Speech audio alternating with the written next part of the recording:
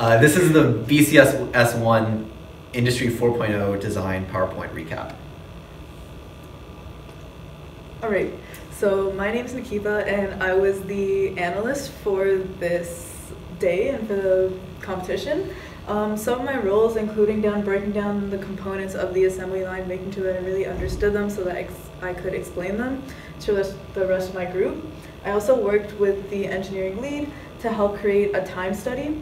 I also identified parts of the production line that were already efficient and areas that needed help, so areas that we could make more efficient and which helped us record data into the time study. Uh, William Kim is our friend off camera. He was our project manager. Uh, some of his responsibilities included making a detailed timeline for our goals, um, overviewing our tasks, and making a general picture of what we needed to accomplish, uh, ensuring good communication between all the members of the group, and describing improvements to go over the new process with the team.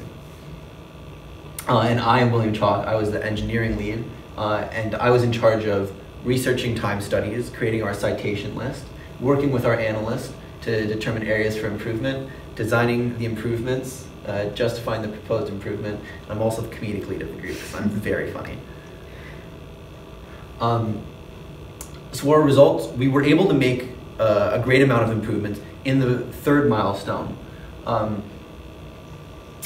but obviously the CEO wanted some different, had some different ideas, so we were able to make our improvements in the fourth milestone, and what we came to were software updates. That was the big idea that we were going to implement to make the system better without hardware changes.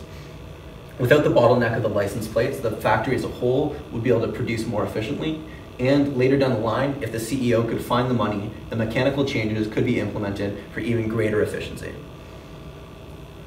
All right, so this whole competition was a great learning experience for everyone in our group. Some of the things we definitely learned how to do were how to work more efficiently given set um, project deadlines. Uh, we also learned how to collaborate with not only different team members, but we also learned their strengths so that we could work with each team member and use what skills they brought to the team to the best of our abilities.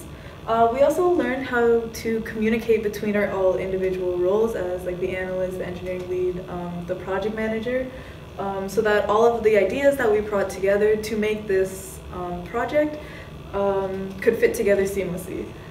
Uh, what we also learned, uh, thanks to the fourth milestone, is that there's always more than one way to solve um, an issue, and especially milestone three and milestone four um, force us to look at the same issue in two different ways.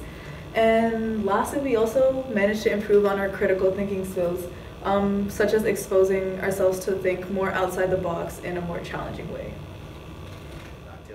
So what would we do differently? Um, one thing we definitely would do is use our advisor more efficiently. We only managed to use him one out of the two opportunities that we were given because we weren't super aware of it. Um, but when we did use that uh, set of time, we weren't really sure what to do with the milestone initially. So we were like, okay, maybe we'll just bounce ideas off of our advisor, which probably would have been more efficient if we had just come with set questions that we weren't too sure about. Um, the other thing we would do is maybe keep track of all of our ideas regardless if we use them or not. Oftentimes what we noticed is we would have an idea but we weren't too sure if it was strong enough to implement. So we would just be like, okay, scrap it and we'll think of a new, stronger idea. Whereas if we had just written everything down, regardless of how strong the argument was, we probably could have elaborated on it um, to enhance the detail of our project. Also, if we got stuck, we probably should have moved on to another aspect of the milestone and then come back to that respective challenge, mostly because um, sometimes it's frustrating when you're just stuck on an issue and you can't um, resolve it because you're not as productive anymore. So by coming back to it, you're giving your brain a little bit of rest and you're fresh with new ideas.